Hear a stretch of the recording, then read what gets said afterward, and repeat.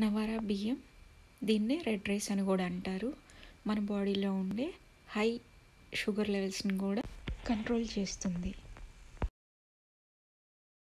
Hi friends welcome to our channel simple and delicious by Cherkuri. Navara బియ్యం వండుకునే ముందు ఈ టిప్స్ ఒకసారి చదవండి. నవారా బియ్యం వాష్ చేసుకొని నాలుగు గంటల ముందు నానబెట్టుకోవాలి. అప్పుడే రైస్ పర్ఫెక్ట్గా కుక్ అవుతుంది.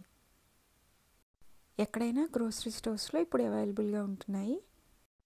ఈ బియ్యంని మట్టి పాత్రలో కానీ ఇత్తడి గిన్నెలో కానీ కుక్ చేసుకోవాలి.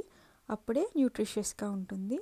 ఒక కప్పుకి నాలుగు కప్పులు నీళ్ళు పోసుకొని లిడ్ పెట్టి బాయిల్ చేసుకోవాలి లో ఫ్లేమ్ మీద.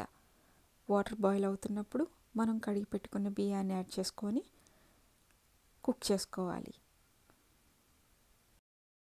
మీ బాడీలో షుగర్ హై లెవెల్స్ ఉన్న రెడ్యూస్ చేయడానికి చాలా యూస్ఫుల్గా ఉంటుంది.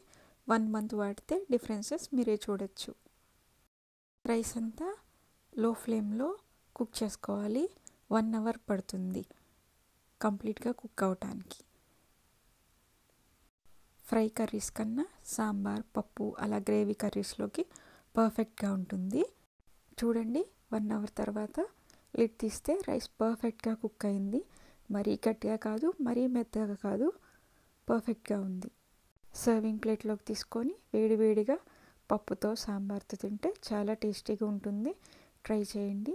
స్టెప్ బై స్టెప్ ప్రొసీజర్ అంతా డిస్క్రిప్షన్లో ఉంది. చూడండి. Thank you for watching like and subscribe please